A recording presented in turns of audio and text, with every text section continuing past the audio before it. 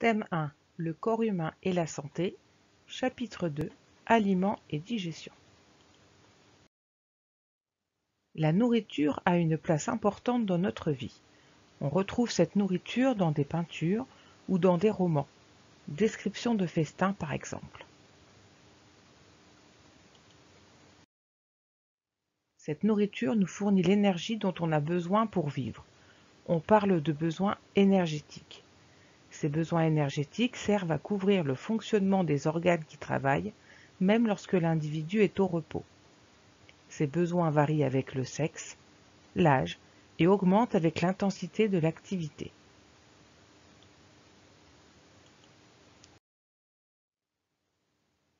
Ces besoins sont couverts par nos repas. Ces repas varient selon les habitudes des pays, mais apportent toujours les trois types d'aliments. Les aliments bâtisseurs pour construire le corps, les aliments énergétiques pour lui fournir de l'énergie, et les aliments fonctionnels qui aident le corps à bien fonctionner. La digestion a lieu dans le tube digestif, dans trois organes, la bouche, l'estomac et l'intestin grêle. D'autres organes aident à la digestion.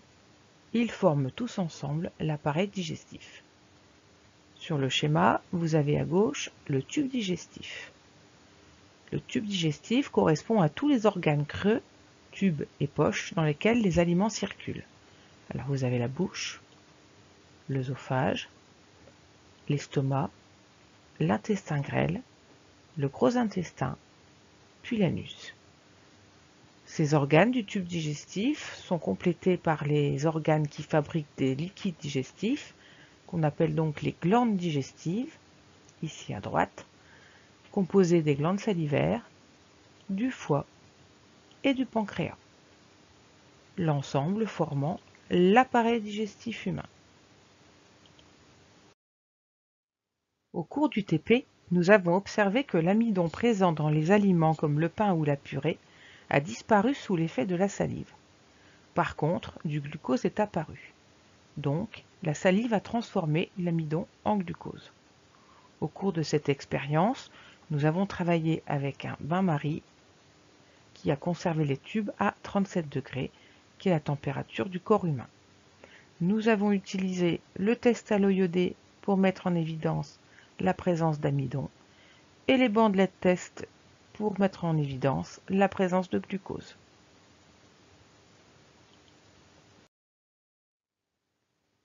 La transformation des aliments dans le tube digestif.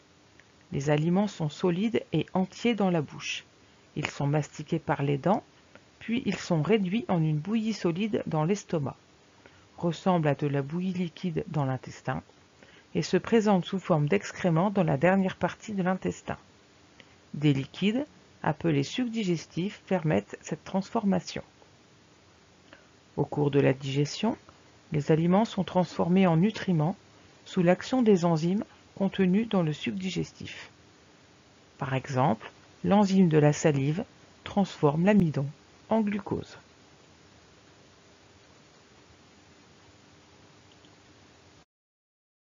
Le rôle des micro-organismes dans la digestion.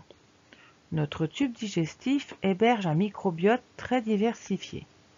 C'est l'ensemble des micro-organismes, bactéries, levures, présents dans le tube digestif de l'individu. Ce microbiote participe à la digestion.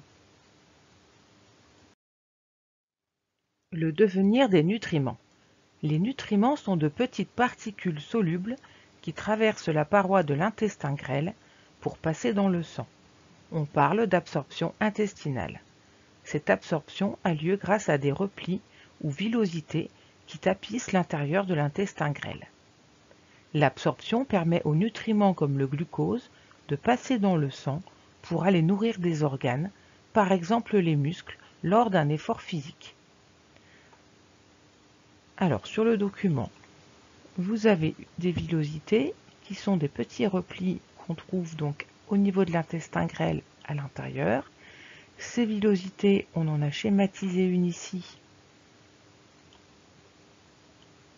contiennent à l'intérieur un vaisseau sanguin, donc un vaisseau sanguin tout petit qu'on a appelé un capillaire.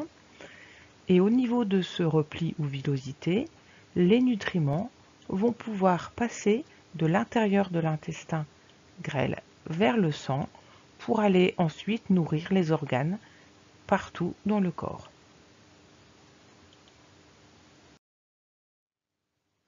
Bilan.